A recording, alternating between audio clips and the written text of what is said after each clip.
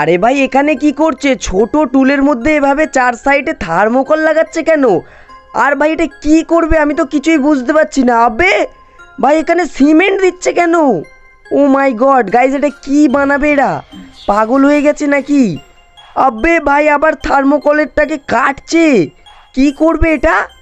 আবে ভাই, এটা তো উনুন বানিয়ে দিয়েছে। তোমাদের কেমন লেগেছে কমেন্টে জানাও। এর জন্য তো একটা লাইক হয়ে চ্যানেলটিকে সাবস্ক্রাইব করো